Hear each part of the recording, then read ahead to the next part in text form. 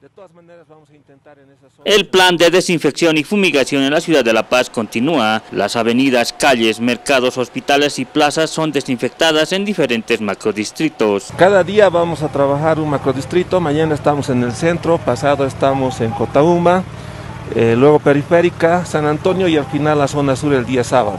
Este es un plan integral que el gobierno municipal está desarrollando de manera intensiva. El director del Sistema de Regulación Municipal, Rubén Ledesma, explicó que para desarrollar esta tarea se trabaja con diversos tipos de equipamiento. Tenemos aproximadamente un 80% de las calles de la ciudad que van a estar desinfectadas, priorizando principalmente lugares donde hay mercados, actividades económicas y donde hay accesibilidad, porque ustedes saben que tenemos áreas como laderas donde hay graderías donde no es posible. La sustancia desinfectante es hipoclorito de calcio de 300 partes por millón, que no es tóxico para el ser humano. Sin embargo, para realizar esta tarea se requiere que las vías estén libres de personas. Por eso, esta labor se llevará a cabo por las tardes y noches.